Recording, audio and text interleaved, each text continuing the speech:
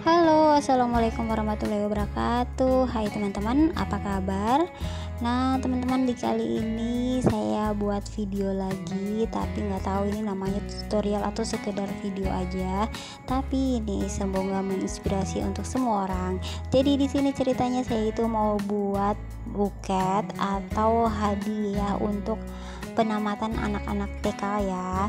Nah, di sini saya membuatnya itu sangat simpel dengan uh, budget termurah dan uh, bermanfaat kira-kira begitu ya. Jadi ini kita buat perintilannya satu-satu, tapi sayangnya untuk perintilan bagian tabung bawah yang warna hitam itu saya tidak record. Nah, tapi itu jangan khawatir, itu uh, kira apa tabungnya itu aman. Jadi terbuat dari botol bekas minuman atau botol bekas aqua ya. Lalu dibungkus dengan kertas karton manila nah jadinya kelihatannya sangat elegan atau keren lah kalau begitu ya. Jadi sudah tidak nampak buruk teman-teman. Nah tapi di sini juga saya buat lagi untuk tambahan bunganya karena saya tidak menggunakan bunga artifisial jadi saya membuat bunganya itu dari kain flanel. Kebetulan masih punya banyak sisa kain flanel teman-teman. Nah ini saya membuatnya sambil ah, saya menjahit itu sambil di dalam perjalanan ya jadi di sini saya buat saya jahit-jahit sampai membentuk satu bunga. Entahlah ini bunga mawar atau bunga apa ya teman-teman. Yang penting jadinya bunga. Oh iya teman-teman yang belum subscribe jangan lupa di subscribe dulu ya. Karena subscribe itu gratis. Nah kalau kalian banyak yang subscribe aku lebih semangat lagi teman-teman. Uh, di sini saya itu berusaha membuat sesuatu itu dengan karena apa e, dengan semampu saya dengan kreativitas saya dengan menekan budget karena terus terang saja di sini permintaannya untuk satu bucket itu hanya sekitar 15 sampai 20 ribu rupiah. Nah bagaimana caranya saya menekan budget supaya tidak melebihi dari e, nilai jual ya jadi semuanya saya buat sendiri. Baik buat uh, tabungnya buat bunganya kemudian edit fotonya. Oh iya ini sengaja buat yang modelan kipas ya. Jadi ceritanya buket ini dibuat nggak cuma sekedar untuk dijadikan apa ya hadiah begitu nanti setelah e, misalnya snacknya sudah diambil itu kan masih ada fotonya. Nah fotonya masih bisa dipajang. Terus kemudian juga ini sengaja saya buat kipas mainan namanya untuk anak TK ya guys.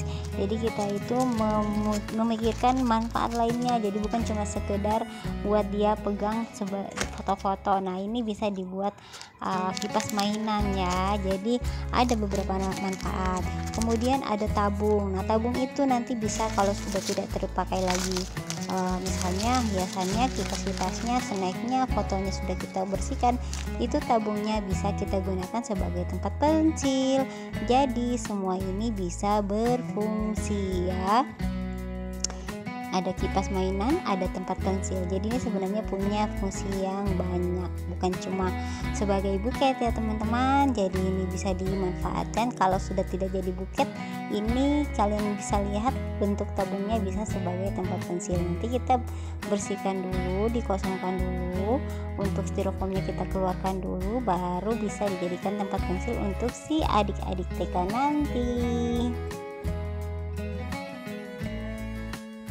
Dan tidak lupa saya ingatkan kembali untuk teman-teman yang belum subscribe, jangan lupa di subscribe ya, jangan lupa ditekan tombol merahnya dan jangan lupa juga ditekan tombol loncengnya biar kalian tahu apa video terbaru saya berikutnya.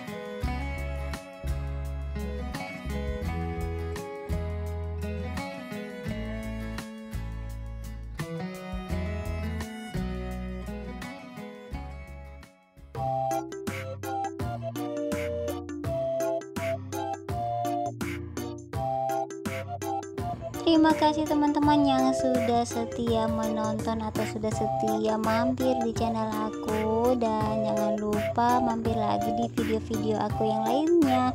Terima kasih. Assalamualaikum warahmatullahi wabarakatuh. Bye bye.